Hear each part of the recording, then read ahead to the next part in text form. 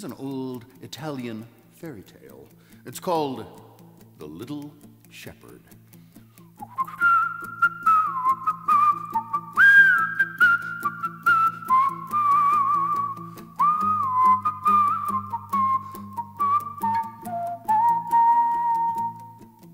Once long ago, there lived a little shepherd.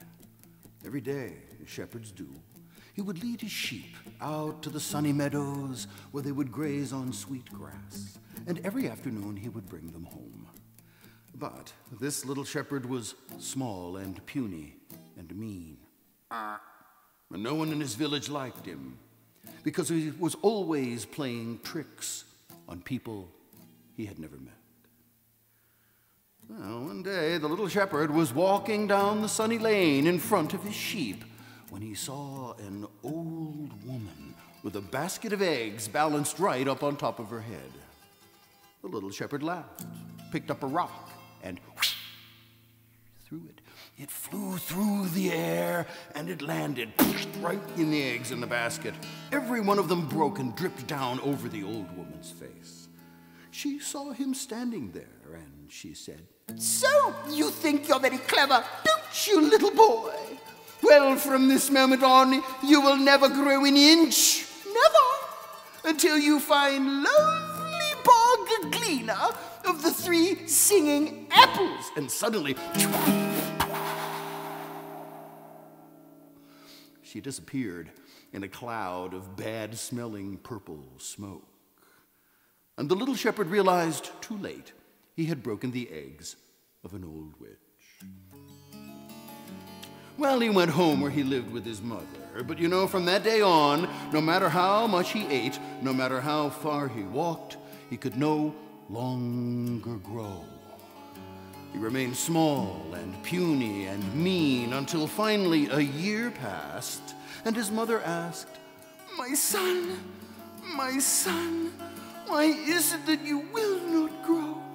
And he replied, Oh, mother, once I broke the eggs in an old woman's basket.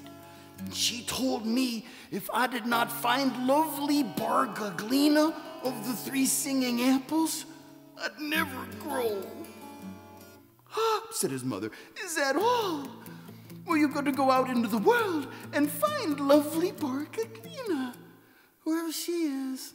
So his mother gave him a crust of bread and a bag of water, and out into the world all by himself little shepherd walked.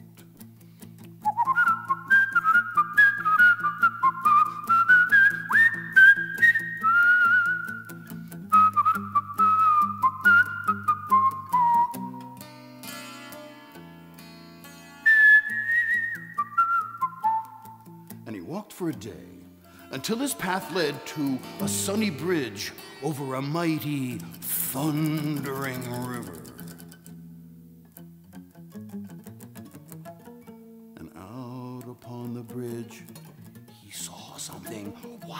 It was a tiny fairy. She was taking a bath in a teacup. She heard him, though, as she walked onto her bridge, and she called out, Oh, goes there, He didn't know what to say. He walked right up and said, Oh, um, uh, friend, friend, open my eyelids so I can see you better. And ever so carefully, he knelt down and he opened the two tiny eyelids of the fairy. Up she looked at him and she asked, Oh, what do you want? Oh, I'm the little shepherd.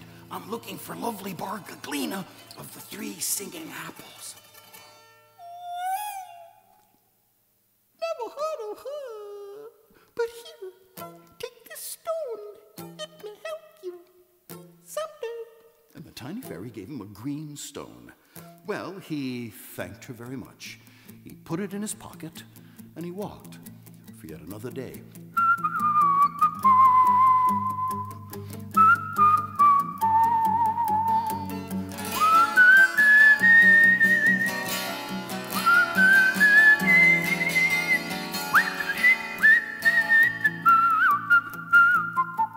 until his path led to a second mighty bridge over yet another thundering river. And out upon this bridge, he saw another tiny fairy. This one, however, was taking her bath in a walnut shell. She heard him, though, as he walked onto her bridge, and she called out, Who goes there? Well, he knew what to say. He walked right up and said, Oh, uh, friend, friend, so I can see you better. And once again, ever so carefully, he knelt down and he opened the two tiny eyelids of the fairy. Up she looked at him and she asked, What do you want? Oh, I'm, I'm looking for lovely Bargaglina of the three singing apples.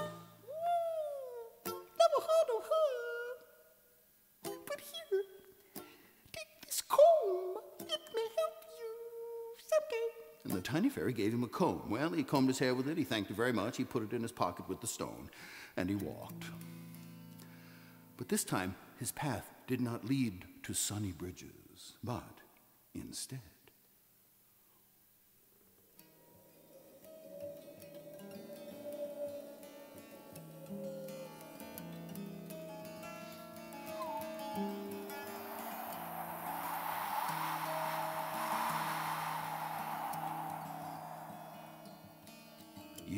Misty forest it led him. The mist in the forest was so thick, he could barely see his hands in front of his face. And as he crept along, he could hear the sounds of wild animals. what was that? Oh! He crept along until he came to the edge of a lake. And there, kneeling by the water's edge, was a funny looking old man who wore a long silvery beard that touched the water. And the old man was taking the fog that floated on the water and he was putting it into a bag. Well, now, there's a little fog in the bag. fog in the bag. Oh, yes, oh, yes. Just a little more fog now. In the bag. When all at once the old man saw the little shepherd. Ooh! What do you want? Who are you? What do you want? Uh, I'm, I'm, I'm, I'm the little shepherd. I'm just looking, looking for lovely Bargaglina of the three singing apples. Ooh! Ha ha! Never heard of it. However, take this bag of fog why don't you? It may help you someday. And not knowing whether to be grateful or afraid, the little shepherd took the bag of fog and he ran.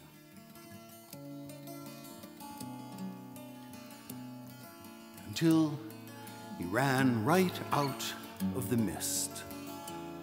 And he saw that the waterfall that tumbled from the lake's end swept swiftly down a mountainside in the bright sunlight. It looked as if diamonds were leaping and dancing above the river's rocks. So he followed it along, down into the valley and into a deep green forest. Walking along the river, it grew finally deep and quiet, but that was when the little shepherd heard a strange sound.